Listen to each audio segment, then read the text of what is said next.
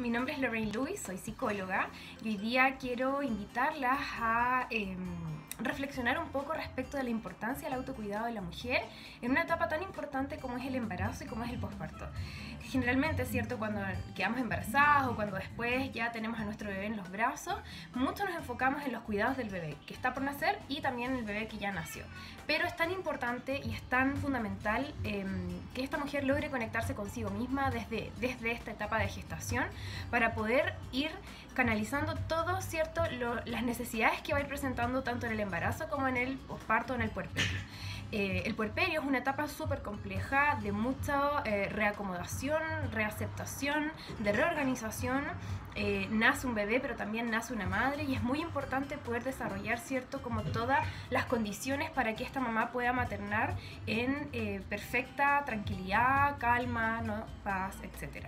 Pero también es súper importante enfocarnos desde etapas anteriores, desde el embarazo, ¿cierto?, en que la mujer logre conectarse consigo misma, logre em, estar eh, en plena sintonía respecto a cuáles son sus necesidades, qué es lo que busca, qué es lo que quiere, qué es lo que no quiere, ¿cierto?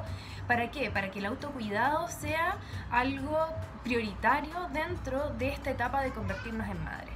Em, generalmente las mujeres tendemos a dejarnos mucho de lado, a perdernos también mucho y a eh, ir en esta constante reencuentro con nosotras mismas. Y en este constante reencuentro eh, nos cuesta mucho conectar con lo que estamos sintiendo, con lo que nos está pasando y qué importante es poder, cierto, desarrollar estrategias que nos permitan estar en sintonía con nosotras mismas para poder, cuando yo vuelvo a mí, cierto, cuando yo conecto conmigo, poder conectar de mejor manera con mis hijos, poder conectar con la etapa que estoy viviendo, asumir la etapa que estoy viviendo, cierto, y poder de esa manera maternar en pleno equilibrio.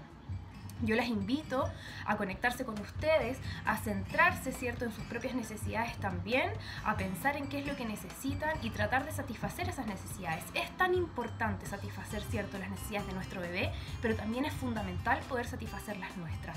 La manera en la cual vamos a encontrar este equilibrio va a ser, ¿cierto?, entre el desarrollo de nuestra babuita, satisfacer las necesidades de nuestra babuita, pero también lograr, ¿cierto?, el equilibrio con em, nuestra propia calma, nuestro autocuidado, nuestro propio, ¿cierto?, templanza que nos permita poder criar y desarrollar prácticas también adecuadas de crianza. Las invito a conectarse con ustedes, a estar más conscientes de nosotras mismas, para que de esa manera también podamos estar más presentes hacia nuestros hijos. Les dejo un beso, que estén súper bien.